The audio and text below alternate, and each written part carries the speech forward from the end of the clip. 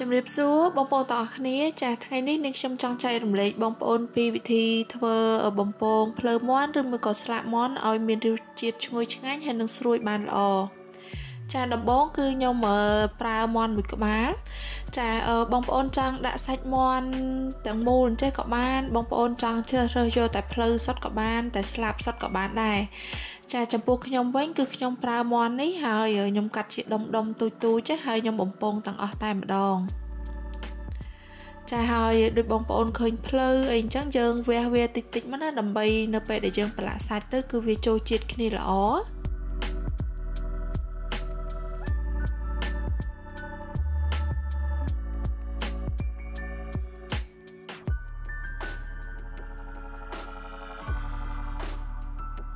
ចានេះសាច់មាន់ដែលនាងខ្ញុំកាប់រួចហ្នឹងបងប្អូនឥឡូវនេះយើងយកមកប្រឡាក់ជាមួយនឹងអំបិលបន្តិចហើយម្រេចបន្តិចហើយនឹងប៊ីចេងបន្តិចដែរបងប្អូនអាចដាក់ប៊ីចេងក៏បានឬមួយក៏ម្សៅស៊ុបមាន់ក៏បានដែរចាយើងប្រឡាក់គ្រឿងប៉ុណ្ណឹងឲ្យសពសាច់សាច់មាន់របស់យើងណាចាខ្ញុំអត់មានថែមគ្រឿងអីទៀតទេគឺយើងប្រឡាក់តែគ្រឿងប៉ុណ្ណឹងគឺថាឆ្ងាញ់ហ្មង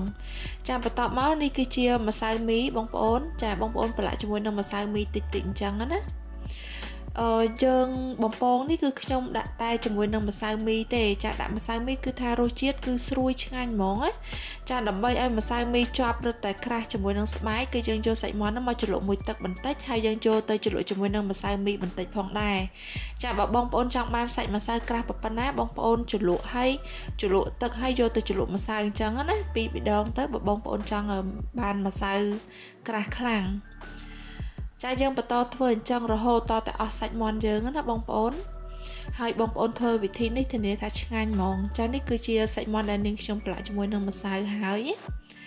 ចាបន្តមកទៀតគឺយើងចាប់ផ្ដើមបំពងចាយើងដាក់ប្រេងឆាយក្តៅចាបន្តមកចាំយើងដាក់សាច់មាន់យើងចូល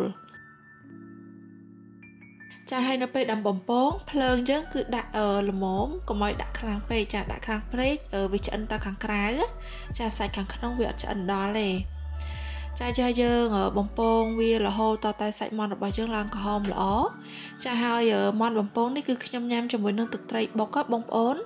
ចាយើងញ៉ាំជាមួយនឹងទឹកត្រីបុកចឹងទៅបន្ថែមរសជាតិសាច់មាន់របស់យើងឆ្ងាញ់មួយកម្រិតទៀតផងដែរ